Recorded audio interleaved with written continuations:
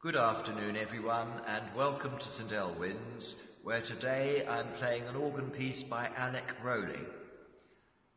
It's the sort of piece one might play as an introductory voluntary a service, and um, typically he's called it Andante Religioso. Uh, that doesn't perhaps do the piece justice because, typical of Alec Rowley, it has a wonderful quiet beginning and ending with a massive crescendo in the middle which suits this organ and the wonderful acoustic of St Elwyn's Church. So I hope you enjoy it and thank you for watching.